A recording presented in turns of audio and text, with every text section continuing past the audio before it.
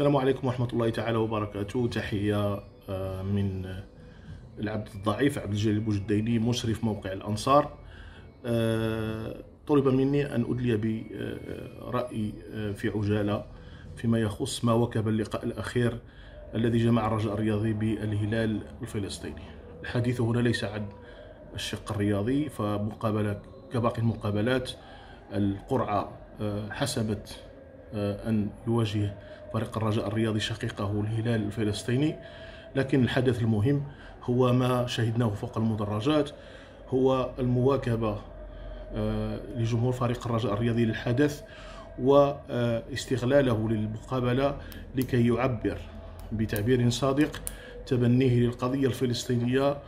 وهذا آه، في الحقيقة تحصيل حاصل لأن الشعب المغربي آه، كذلك هذا هو إحساسه وجمهور فريق الرجاء الرياضي جزء لا يتجزأ من الشعب المغربي.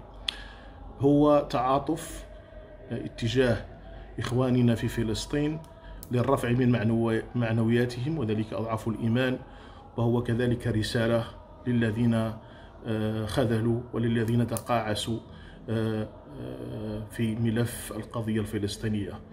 فلسطين حرة حتى النصر إن شاء الله والقدس عاصمة لها وسيستمر جمهور فريق الرجاء الرياضي في تبني هذه القضية آه، لأن الجمهور أخذ على عاتقه أن يساند مثل هذه آه، الأمور الخاصة بالشعوب المقهورة كما تقول أغنية فلسطين الحبيبة. تحية تحية صادقة من القلب إلى الشعب الفلسطيني وإلى آه، كل العرب.